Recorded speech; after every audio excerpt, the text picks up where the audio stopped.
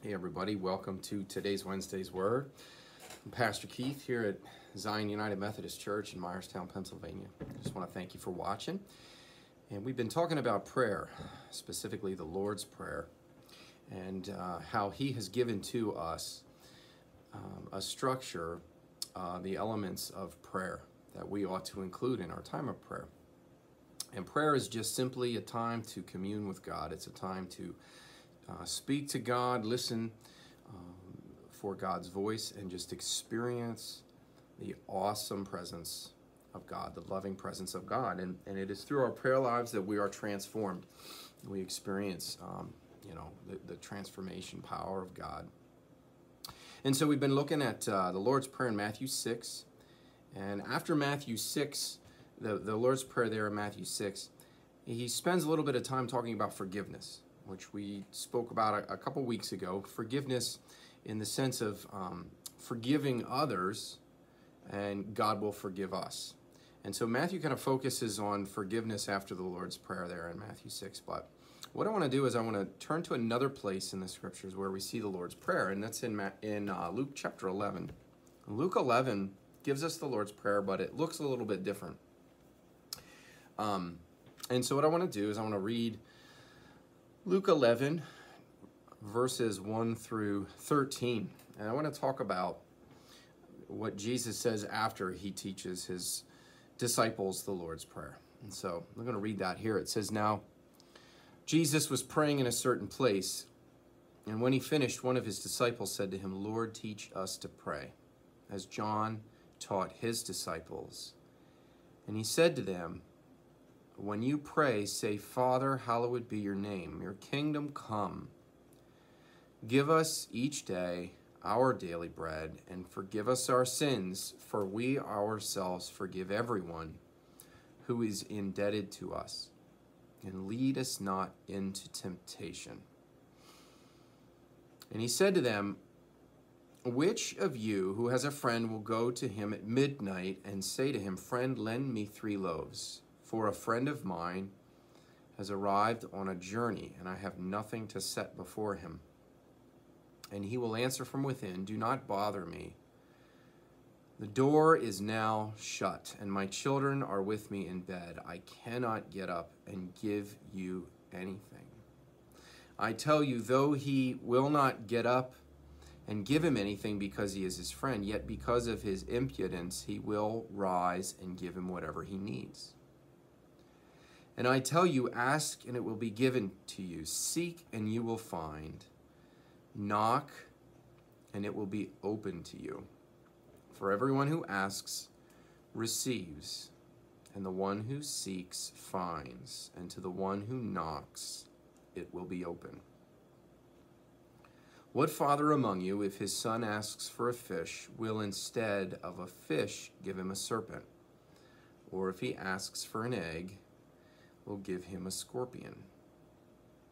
If you then, who are evil, know how to give good gifts to your children, how much more will the Heavenly Father give the Holy Spirit to those who ask Him?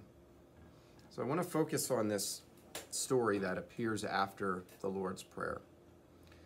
Jesus continues to teach by giving a parable, a story and then kind of give some examples of um, what a good father uh, would do for his children and compares that father to our heavenly father.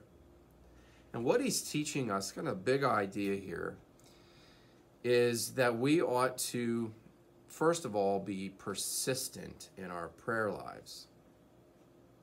And he gives this story of a person who has visitors coming from out of town to stay at their home. This man has nothing to give his visitors to eat. And so what he does is he goes to his friend's house. And Jesus says, Who among you would not give something uh, to this man so that he has something to offer his visitors? And he tells a story of, of how um, the man knocks on his friend's door and he's like, come on, it's midnight. I know it's late, but I need help. I need some bread to, to give to my visitors. And it says that the man's like, Don't bother me. It's late. I've already uh, tucked my kids into bed and the door is shut. It's already locked. And he's basically saying it's too late. You know, if I unlock that door, now they had these big door locks. It would have been a huge latch. And so I can imagine if he unlocks that door, it would probably clang, you know, pretty loud and might wake the kids up, wake the animals up, and, you know, whatever. And he's like, you know, I don't want to bother them right now. I don't want to wake everybody up. So he's like, go away. And Jesus teaches how persistence really pays off. says that this man just keeps on knocking and keeps on begging him, please open up, please give me some bread. I need this bread. And what's interesting is that there are a number of occasions in which Jesus compares people to the Father. And usually, what he does is he looks at um, a person who is selfish or wicked and their response um, to somebody complaining or persistence like like here and he says listen if if this man um, eventually opens the door and gives the man bread, how much more will our Heavenly Father, who is holy and perfect, do just the same? And so he's using this comparison of, of somebody who's actually quite selfish and you know self-centered. I'm not going to help you because it's too late at night. And he says, you know what? This man, after a while, because he doesn't want to be a, a, shameful man, he doesn't want to be, a, a, you know, do something that's shameful behavior, sending his friend away because it's too late at night without giving him bread to eat. He's like, this man will actually open up his door. He'll give him bread. If, if this wicked man will do it, think of what the Heavenly Father, who loves us and wants what's best for us, think of what he'll give to us. And so um, he goes on and he says, I tell you in verse 9, ask and it will be given to you, seek and you will find, knock and it will be open to you. This is really important for us to understand that prayer is really intended to be something that we do consistently and persistently and with urgency. Consistently, persistently, and with urgency. That it's something that we do on a regular basis. It's something we do, we, we don't just give up after one time of praying. That there's something about continually coming back to the Lord over and over and over again when we do that, some, for some reason, um, God opens opens the door for us. That He wants to see that we're really serious about what we're praying about. Um, that we pray with a sense of urgency. That we really are in need and we're crying out to God. And we're begging Him, you know, please come to our rescue. And when we do that, it seems like God really honors that attitude you know, of, of just continuing to pray. When he says seek, ask, seek, and knock, these are words that mean not just a one time seeking or asking or knocking. This is like a continual. This is like a, this is supposed to be the habit of a believer. That, that we're like constantly coming to God and asking Him. And I believe something happens when we come to God and and we're focused and we're consistent we're asking him over and over and over again for something. Um, i believe that god teaches us through those moments. We begin to question you know what is it that we're really asking for? Why is it? You know what are the motivations here? Um, that you know why am i asking for what i'm asking? And and so god teaches us in those moments. Persistence in prayer is not just important for trying to hear an answer from God, it's actually important for us in our own growth because it's that time spent in the presence of God seeking Him. Um, that's when we really uh, have the door open to us and we, we find out, you know, new things about God. We receive new treasures within that. So then he goes on and talks about a father. You know, we're all uh, we've all had a father that we've we've come to our father and we've asked that father for something. Some of us are, are parents ourselves, and our kids come and they ask for something. When they're hungry and they want something to eat, he says, if, they, if, if your child asks for fish, who instead of a fish would give them a serpent? If they ask for an egg, they want breakfast, um, who would give them a scorpion? And if we're, he calls us evil, which fair enough, says, if you then, who are evil, know how to give, give good gifts to your children. Um, so, you know, we recognize that we have evil in our hearts. We're selfish. And we know how to give good gifts to our kids, even though we're selfish and self centered. So, if we know what to do, you would definitely think the Father in heaven would know how to give good gifts. So, the final thought I want to leave with you is, is what this gift is. So, if you could ask God for any gift in the world, what would it be? And we probably have a lot of different things, a lot of different requests that we want to know or we'd want to have. And you know, many of our requests, they can even be good requests. We can bring them to the Lord, and sometimes He'll give us what we ask for, and other times He'll say, No, you're not ready for that, or No, I'm not going to give that to you. But here, what we see is, is one time where Jesus says, If you ask for this particular gift, I will give it to you. This is a promise that God gives to us when we seek Him with all of our heart, when we continue to knock at the door, that He's faithful to give us this gift. And so, what is this gift? Well, He says it in verse 13 How much more will the Heavenly Father give the Holy Spirit to those who ask Him? So, the answer is the Holy Spirit. Now, Jesus has promised to give to us his Holy Spirit. And I'm going to look in the book of John, chapter 14. The night before Jesus dies, he talks to his disciples. John 14, 15, he says this If you love me, you will keep my commandments, and I will ask the Father, and he will give you another helper to be with you forever, even the Spirit of truth, whom the world cannot receive because it neither sees him nor knows him. You know him, for he dwells with you and will leave you, or will be in you. So he, he promises here this is the Holy Spirit. He calls it here the Spirit of truth or the helper. And it's the idea of actually like a counselor or um, what they would have is if back in those days, if, if a ship was out at sea, a small ship, and it, and it was having a lot of trouble and it, it couldn't find its way to, to dock, um, they would bring a larger ship out, and that ship would, you know, help guide that smaller ship to the dock to save it. It's like this this guide that's along a side of the smaller boat. And it's the spirit of truth it's the comforter. The, the Bible gives us many different titles for the Holy Spirit.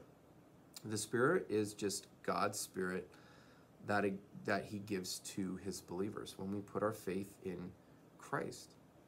You know, when we when we recognize that we cannot earn salvation, we cannot uh, be righteous on our own, but we can only find forgiveness of sins and righteousness through the cross of Jesus Christ and His resurrection we place our faith in Christ, that He died for us, He suffered for us, and bled, and uh, it is by His sacrifice that we're saved. And when we trust in that work that Christ has completed for us, that He actually gives to us a deposit of His Holy Spirit within us. There's something about that we continue to come back and, and ask Him for, for the presence of the Holy Spirit. It's like a begging, like, Lord, Continue to fill me with your Spirit. Continue to bless me with the presence of your Holy Spirit. And the Holy Spirit is a wonderful presence. Imagine, think back in, into the Gospels Matthew, Mark, Luke, and John, and there are many stories of, of people who just flocked to Jesus. They just wanted to be around him because of his teaching and his presence and his healing and his miracles, all the whole package. They just wanted to be around Jesus all the time. Imagine if you were in that, you know, at that time you were around them and, and you wanted to also see Jesus. You would want to be around him all the time. You would follow him. You would, you know, if you knew what treasure you had right in front of you, you'd want to be with him. Well, today we don't have a physical Jesus with us, but what he's done is when he ascended into heaven after his resurrection, he sent his Holy Spirit at Pentecost into the world so that all could could have the presence of Jesus. And so this is like having Jesus you know in our very midst. It's like having Jesus right there with us. Only it's not a physical Jesus that we can see. We can't see the Holy Spirit, but we know the Spirit's presence. You know, you can see this the Spirit working. Just like you can't see wind, but you can see wind, you know, knock a tree over. Or in a tornado can toss a car across a parking lot. You can see the effects of it. You can see the effects of the Holy Spirit as the Spirit fills us. The Spirit empowers us. The Spirit gives us wisdom truth. The Spirit makes us come alive, it quickens us, and, and brings about holiness within us. Fruit of the Spirit of love, joy, peace, so on, that is produced within us. We're transformed, we're made into Christ like people. And so we need the Holy Spirit. We need the presence of the Holy Spirit. We cannot do this life without the presence of the Holy Spirit. The Spirit brings unity, it brings peace. The Spirit brings, like I said, holiness within us. And so God wants us to continue to seek the presence of the Holy Spirit, to seek to be filled afresh every day. Yesterday's uh, filling of the Holy Spirit doesn't do us any good today. And so we're called to be filled afresh every day of the Holy Spirit. You know, there is a a spirit of deception that is out there today that is just destroying people's lives. It is it is deceptive and it's creating fear and anxiety. Um, it's it's creating anger and division. It's really destructive. And many have have bought into the lies. I mean, it is. Uh, is spiritual warfare going on in our nation right now and across the world right now. And here we have God willing to give to us his Holy Spirit, the Spirit of truth. And so we're called to seek the Spirit of truth, to seek to be filled with the Spirit of truth, to give us wisdom and give us understanding help us to be able to discern the times and to, to remain strong in our faith. And so I want to encourage you continue to read this story on your own. Think about what it means. And um, I want you to spend time um, seeking to have the Holy Spirit within you, to experience the presence of the Spirit, the fellowship of the Spirit. God has promised that He will give to us the Spirit. But we have to ask, Lord, please fill me afresh. And we have to ask with persistence, with urgency, and consistency in our lives. So I just wanted to leave those thoughts with you today. And uh, as we close, I just want to offer a word of prayer to you. Gracious God, um, we know that we need your Holy Spirit, and we thank you that you give your Spirit without measure. So we come to you now, seeking with all of our hearts. Fill us afresh with your Spirit of truth, the Comforter, our Counselor. Lord, fill each one as we uh, pray to you. Help us to continue to pray uh, with persistence in our lives always seeking to, to be filled with your Holy Spirit. Pray in Jesus' name, amen. Thanks again for watching today. I hope that uh, this has been a blessing to you. Look forward to being able to share you with you again um, with next day, next Wednesday's word. And I wish you blessings on the rest of your week. God bless you.